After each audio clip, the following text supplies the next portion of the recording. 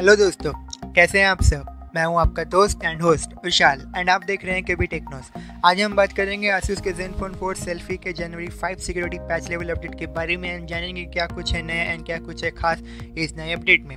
आगे बढ़ने से पहले चलिए शुरू करते हैं आज का वीडियो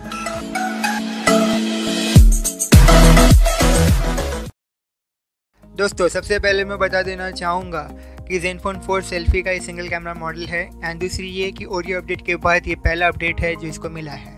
एंड बड़ी अच्छी बात है कि नए साल में हमें एज अ गिफ्ट ये नया अपडेट मिला है। पिछले साल 2018 में भी हमें 2018 का पैच लेवल अपडेट मिल चुका था एंड इस साल भी अच्छा है कि हमें 2019 का भी अपडेट मिला है।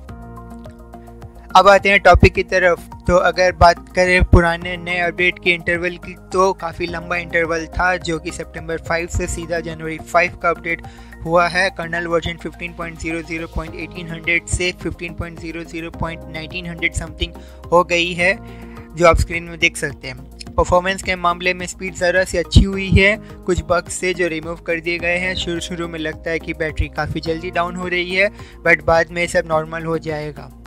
अगर आइकॉन्स की बात करें तो आइकॉन्स काफ़ी राउंडी थे ओरियो अपडेट के बाद। ये अभी थीम बेस है तो आपको आइकॉन्स राउंड राउंड लग रहे होंगे बट अगर आप सेटिंग्स में जाके ऐप नोटिफिकेशन में चेक करें तो आप देख सकेंगे कि सारे आइकॉन सब स्क्वायर लुक्स के साथ आपको प्रेजेंट हो रहे हैं, जो काफ़ी फ्लैट डिज़ाइन है एंड देखने में काफ़ी सिंपल लगता है।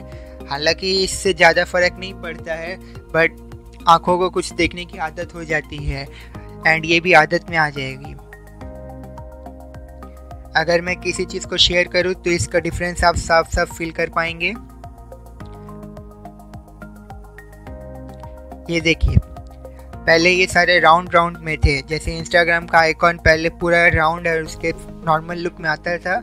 अब ये भी स्क्वायर हो चुका है।